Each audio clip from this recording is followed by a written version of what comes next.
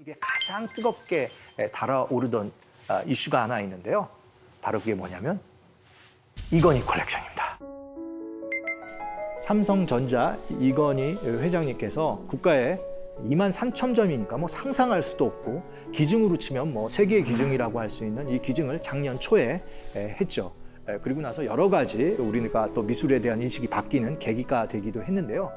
이 어마어마한 2만 3천 점 중에서 하나의 명작을 꼽아보라면 바로 이 작품을 에, 뽑고자 합니다. 모네의 에, 수련이라는 작품인데요.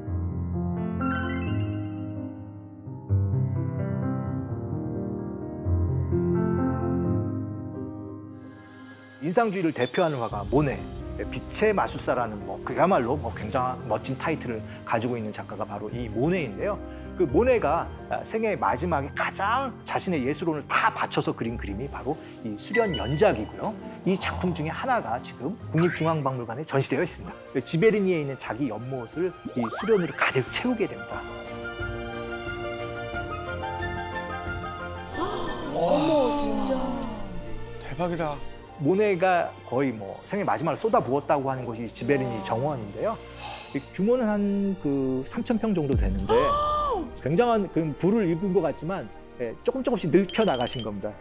그래서 처음부터 이렇게 한 게 아니라 처음에는 월세 사시다가 돈을 조금씩 모으시면서 주변을 한 칸 한 칸 나가다 드디어 이 길 건너에 있는 조그마한 개울을 이용해서 큰 연못을 만들고 여기가 자기가 사랑하는 꽃을 심고 꽃이 변해 나가는 그 순간순간을 다 그림으로 어, 그리게 된 거죠. 이때 그가 그린 수련 연작이 대략 한 몇 작품 된다고 생각하시겠어요? 100작품 될 것 같은데. 엄청 많으니까 한 수백 작품 정도 되나요? 수백 작품. 아, 지금 알려진 게 한 250점 정도 됩니다. 많다면 많고 적다면 적지만 우리가 아무리 사랑하는 연인도 한 100번 그리라고 하면은 약간 좀 어, 힘들어 할 텐데 수련에 대한 애정이 찐이었던 거죠. 예, 이 정말 끊임없이 그렸고 그가 아마 1890년대부터 그렸으니까 한 30년 넘게 이 그림을 자기 생의 마지막 순간에는 이 수련과 함께한 아, 그런 화가가 바로 모네라고 할 수 있는데요. 이 모네의 수련을 보면 어떤 느낌이 드시나요? 그래서 이 수련뿐만이 아니라 모네 작품 전체적인 특징이 조금 평온하다, 안정적이다. 네, 사실 이게 그 전체적으로 모네의 그림을 보게 되면 굉장히 편안하고 안정감 있는 그림인데요. 그의 삶을 이렇게 들여다보면 정말 불꽃 같은 그런 삶을 살게 됩니다. 어, 정말 도전의 연속이었고요. 어, 그렇기 때문에 굉장히 많은 상처까지 받았던 사람이 모네라고 할 수 있습니다. 어, 그는 어, 인상주의의 첫 번째를 열었고 그야말로 생애 마지막 순간에 가서는 인상주의를 완성한 화가가 바로 예, 모네라고 할 수 있죠. 그러니까 인상주의 개척자이자 완성자가 모네인데요. 그를 대표하는 초기 그림이 에, 바로 뭐냐면 해돋이 또는 일출이라는 작품이고요. 또 가장 중요한 타이틀은 인상입니다. 그러니까 인상 해돋이 또는 뭐 인상 일출이라는 작품이 여러분이 보시고 있는 이 작품인데요. 이게 1872년도에 그려졌고요. 이게 이제 작품이 이후에 공개되면서 사람들이 완전히 당혹감에 빠지게 됩니다. 이게 그림이냐는 거죠. 당시 평론가가 이 그림 보고 약간 조롱조롱 본질을 그린 게 아니라 인상을 그린 거라고 했는데 모네부터 이런 식의 그림을 그리는 일련의 화가들을 대표하는 이름이 되어버린 거예요. 인상주의가 되었죠. 원래 좀 이름이 이렇게 시작하는 게 많죠. 약간 아, 비판하거나 조롱하는 것들이 예, 그 이름이 되어버리는 어떻게 보면 대명사가 된 경우가 많은데 이 그림을 왜 그렇게 당시 사람들이 불편해하겠냐면은 지금 우리가 이 그림은 뭐 명작으로 얘기를 하기 때문에 어, 이게 어떻게 보면 자연스럽고 그가 어, 즉흥적인 표현 같은 것들을 담아냈다라고 하지만 당시 사람들이 이런 그림을 공개적인 곳에서 본 적이 없어요. 이거는 불편한 그림이고 그리고 이 특히 저 앞에 에, 해돋이 일출을 그린 그 저런 에, 붓터치들은 이게 이 화가가 선이나 제대로 그릴 수 있었을까라는 비판을 그 당시에 할 만큼 조롱거리가 되었던 거죠. 이게 어느 정도로 심하게 조롱이 되었냐면은 이 인상파들이 모여서 그리는 어, 그룹전이 있었는데 그 그룹전을 조롱하는 그 만화입니다. 내용이 뭐냐면 임산부는 들어가면 놀라실 수가 있으니까 출입을 금하는 그런 장면입니다. 그 당시 사람들에게는 너무나 혁신적인 그림이었고 도대체 받아들일래야 받아들일 수가 없었던 그런 그림이었던 거예요.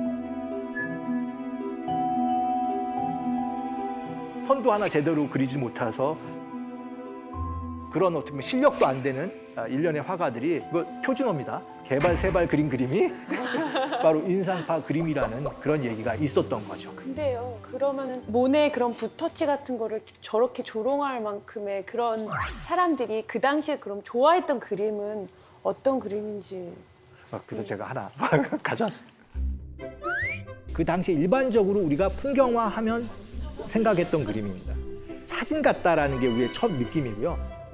나무는 나무처럼, 산은 산처럼, 들판은 들판처럼 있는 그대로 그려야 되는 게 이게 그림의 어떻게 보면 정석이었는데 이런 기본적인 룰을 완전히 깬 화가가 모네였던 거죠. 그러니 오른쪽에 익숙한 사람들이 보기에는 예, 왼쪽은 좀 받아들이기 너무 어려운 파격적인 그림이었던 겁니다. 아, 이 비교해 놓으니까 정말 왜 그랬는지 이해가 되네. 결국 뭐 당시 화가뿐만 아니라 지금 화가들도 그림이 팔려야 생계를 이어나갈 수가 있는데 그림이 안 팔리기 때문에 에, 모네도 굉장히 힘든 삶을 살게 됩니다. 거의 한뭐 어, 무명의 삶을 30년 이상 살았다고 할 수 있겠죠. 아유, 예. 포기 안 한 게. 와.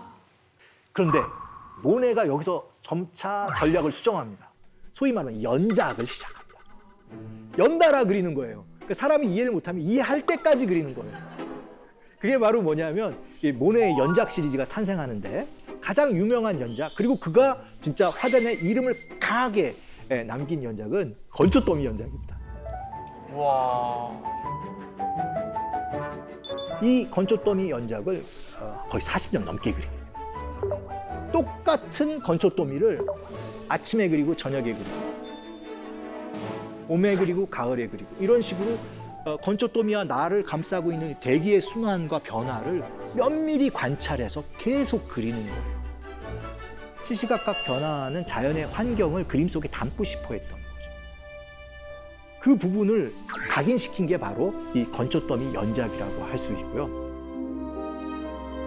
정말 이 작품이 팔려 나가기 시작하는데요. 그 당시 일반적으로 마켓에서 그림이 팔렸던 가격은 대략 3, 400만 원짜리 그림이었던 거예요. 근데 이 건초 더미 연작이 드디어 인정받으면서 가격이 순간 10배 뜁니다. 네, 3, 4천만 원씩 팔고.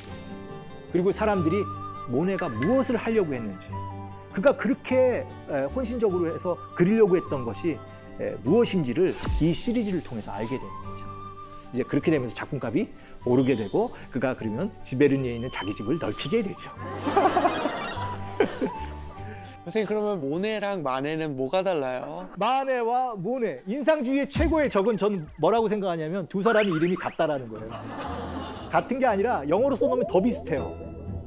우리만 헷갈리는 게 아니라 모든 인상주의 연구자나 미술사학자들이 다 혼동스러워하고요.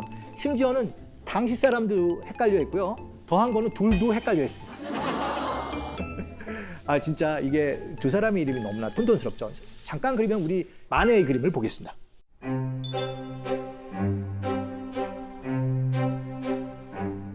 작품 제목이 올림피아인데 이 올림피아는 그 당시 그 소위 매춘부들이 가장 많이 쓰던 예명 가명이었습니다. 그러니까 이 작품 제목부터 어, 이 작가는 의도를 갖고 들어온 것이죠. 그 소위 말하면 그 당시에 어떤 어, 성문화를 신랄하게 비판하는 의도로 이 그림을 그렸다고 볼 수 있고요. 누워 있는 여인의 그 모습, 특히 이 목에 감싸고 있는 저런 어, 그런 장식성 이런 것들이 다 저속한 느낌을 어, 고의적으로 주려고 했다라고 보는 것이죠.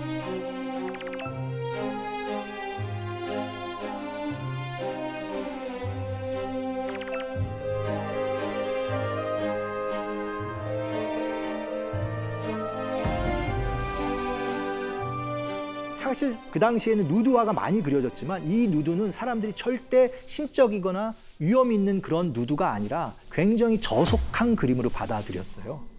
그러니까 원래는 그림을 보러 전시장에 가면 우아하고 아름다운 그림이 있어야 되는데 이거는 어떻게 보면 그 당시 사람들이 숨기고 싶어 했던 좀 부끄러운 그림들이 이렇게 걸려져 있었던 거죠. 당시 정말 이런 그림을 봤을 때 사람들은 어, 만해에 대해서 굉장히 불편해했고 어, 그래서 이런 그림들을 그리는 화가라고 해갖고 뭐 일단 만해를 이다라 아니면 정말 또 좀 골치 아픈 말썽꾸러기 이렇게 좀 생각을 하고 있었던 거죠. 항상 이렇기 때문에 그 만해는 자기 스스로도 조금 힘들었던 것 같아요. 그래서 이 그림이 그린 그 다음에 1866년에 어떤 일이 있었냐면은 이제 드디어 국전, 살롱전 오프닝 날이 있었던 거죠. 그래서 만해가 간 거예요. 작품도 냈겠다. 자기 작품이 됐을까 안 됐을까 얼마나 조마조마했을까요. 딱 이 살롱전에 들어갔을 때 갑자기 박수가 환호성이 나왔다는 거예요. 작품 가장을 하자면. 그리고 사람들이 축하한다고 그러고 아, 막 이번에 또 좋은 작품 냈다고. 아, 그래서 이제 얼떨떨이 만해가 설마 내 작품이 뭐 이게 반신반의하면서도 약간 기분이 업됐겠죠. 그리고 사람들이 얘기하는 작품을 보니까 자기 작품이 아니었던 거예요. 녹색 옷을 입은 여인이라는 작품인데 이거는 모네가 출품했던 작품이었거든요. 근데 여기 세부를 보시면 이제 사인을 한번 보세요. 모네지만 이게 조금 작아지면 마네로 보였기 때문에 당시 사람들은 이거를 마네가 그린 작품이라고 생각했고 마네에게 축하한다고 당신 작품 선정됐다고 얘기를 한 건데요. 이때 느꼈을 마네의 생각은 어땠을까요? 아 개명해야겠다. 그게 개명밖에 답이 없다. 굉장한 어떻게 보면 일종의 그 자존심의 상처가 났고요. 어, 그리고 그 당시에서도 모네가 인사를 하려고 했다는 거예요. 근데 이제 그걸 거부했고. 그래서 두 사람의 관계는 최소한 한 3년 정도는 냉담했던 것 같습니다. 근데 결국 이 오해는 풀렸고 어, 두 사람은 굉장히 또 다시 예, 그 동료가 돼서 어, 인상주의를 끊어가는 일종의 뭐 양대 산맥이 되죠. 그때 그 어, 마네가 그린 그림은 지금은 미술사에 실리는 굉장히 유명한 그림입니다. 피리 부는 소년. 이 그림은 아, 그 낙선을 한 거죠. 결국 선정을 되지 못했는데 그가 이런 그림을 통해서 이루려고 했던 업적은 결국은 인정을 받아서 지금도 만해는 뭐예요? 어, 미술사 한 부분을 확실히 차지하는 그런 작가가 되었죠. 이 두 작가 다, 다 인상주의 그룹에 포함됩니다. 양식적으로 좀 차이가 나죠. 예, 그 어떻게 보면 삶의 인상을 그리려고 했기 때문에 그 만해의 그림에는 인물들이 좀 더 많습니다. 그리고 그 작업 과정이 예, 스튜디오 프로덕션이 좀 많아요. 그러니까 스튜디오 안에서 그림을 그리다 보니까 조금 더 빛이나 이런 것들도 좀 대조가 좀 많고 어, 좀 그렇긴 한데요. 상대적으로 모네는 굉장히 중요한 게 현장 완성형. 현장에서 모든 것들을 거의 대부분 완성하기 때문에 그림 톤이 전체적으로 좀 밝죠. 그리고 풍경화가 좀 더 많고. 그런데 정말 이게 참 비극적이에요. 그가 이렇게 성공의 가도로 막 넘어갈 때 또 개인적 고통과 위기가 찾아오게 됩니다. 야외에서 몇 시간씩 그림을 그리고 눈을 혹사하다 보니까 1908년부터 그도 이제 느끼게 되는데 소위 백내장 질환을 겪게 됩니다. 그러니까 지금은 거의 수술을 통해서 완치가 가능한데 그 당시에서는 수술 성공률이 10에서 20%밖에 안 돼서 이 수술을 하는 게 굉장히 위험했던 거예요. 아, 그래서 그도 이제 이 수술을 계속 미루게 되는데 결국 그는 완전히 그 한 1923년 정도 되면 시력을 완전히 잃어서 어, 수술을 할 수밖에 없는 그런 상황이 오게 됩니다. 이 와중에 그가 이제 계속 그 그림을 그리게 되는데요. 한번 보시겠습니까?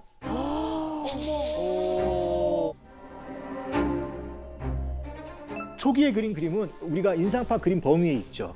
활달한 붓터치도 있지만 그 대기의 표현 이런 것들이 잘 살아 있지만 백내장 질환에 굉장히 심하게 앓을 때는 어, 그 형태가 완전히 어, 좀 일종의 뭉그러졌다고 할 수 있고 강한 어, 붉은 빛만 어, 그림 전체를 감싸고 있는데요.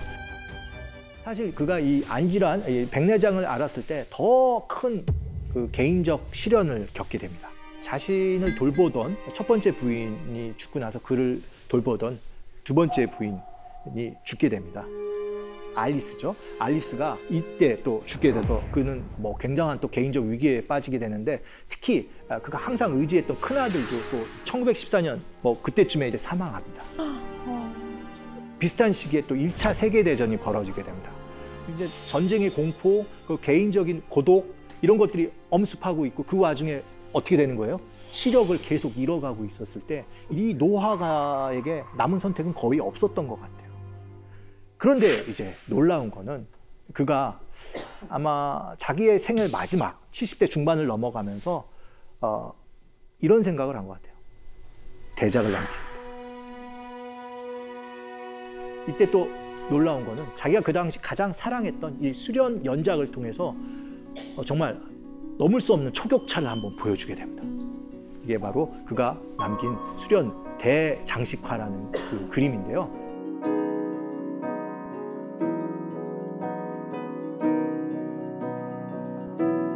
어, 완전히 그 인간적인 어떤 삶의 마지막에 있어서 다시 이제 붓을 들고 일어나게 되는데요.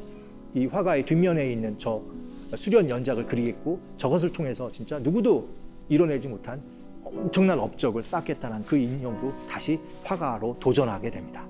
와 진짜 멋있다.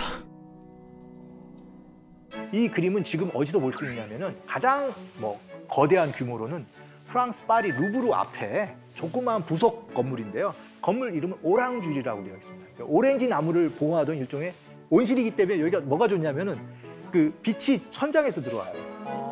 그래서 모네가 이 그림을 기증할 때 제일 중요하게 생각했던 게 자연광이거든요. 그래서 이 자연광을 자연스럽게 또 어, 갖출 수 있는 이 조건까지 가지고 있었던 것이 바로 이 오랑주리 이, 이 온실인데요. 여기를 개조해서 프랑스 정부가 누구에게 모네 수련의 전용관으로 어, 헌정했죠. 이게 그 규모도 또 우리가 얘기했듯이 초격차입니다. 높이가 2m고요. 이 그림이 전체적으로는 8개의 주제로 이어졌지만 다 이어붙이면 100m입니다. 안타깝게도 모네가 이 전시된 형태는 보지 못합니다. 그는 1926년에 그 생을 마감하고 오랑주리 미술관이 완성된 건 그 다음 해입니다. 그래서 뭐 어쨌든 어, 프랑스 정부는 약속을 지켰고요. 어, 그럼 지금과 같이 이러한 아, 형태로 전시되어 있습니다. 그런데 말입니다. 이 그림의 오른쪽을 좀 주목해서 보시죠. 이 그림은 프랑스 파리 오랑주리에 있는 모네 그림입니다. 수련 바로 구름이라는 연작인데요. 지금 저 그림에 한번 주목을 해 보시면 위의 그림이 지금 국립중앙박물관에 전시되어 있고 이건희 컬렉션을 통해서 국가에 기증된 수련 작면입니다. 비슷한데. 굉장히 비슷하죠. 어, 똑같아. 그림자 라인이 똑같죠. 네. 네, 똑같습니다. 이 아래는 햇볕이 좀 강해서 빛의 대비가 좀 더 크고요. 위쪽은 날씨가 좀 흐리다 보니까 톤이 약간 중간으로 올라와서 그림자 안까지 그림이 보이는 그런 상황입니다. 아. 이 그림은 분명히 지금 동일한 위치에서 그려진 그림인데 날짜와 시기는 다르겠죠. 특히 인상적인 거는 구름의 표현은 거의 일치합니다. 하지만 또 우리의 또 관심사는 그 아래에는 안 보이는 꽃망울입니다. 꽃망울이 언제 피냐면 6월에서 7월에 피거든요. 그러면 이거는 수련 6월이라고 이렇게 이름을 불려주는 게 좋을 것 같습니다. 우리가 모네의 그림은 다 어떻게 보면 시시각각 다른 표현을 했을 뿐만 아니라 모네가 그 작품 하나하나를 다른 이름으로 붙여줘요. 개별화시키고 개성 있는 하나의 객체로 만들거든요. 이렇게 봤을 때 수련이라는 전체적인 타이틀 속에서 이 모네가 끄집어내려고 했던 그 의미를 좀 더 짚어볼 필요가 있고 이렇게 놓고 본다면 구름 또는 뭐라는 거예요?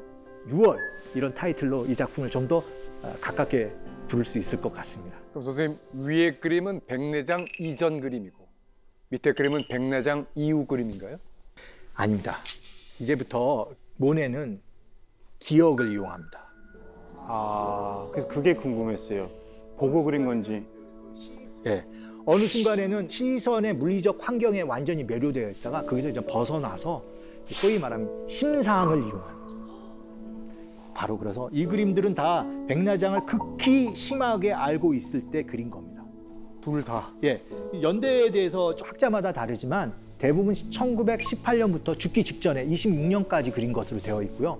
대부분 어, 전 세계에 있는 박물관에서도 연대를 그 폭으로 잡습니다. 특정하기가 조금 어렵습니다.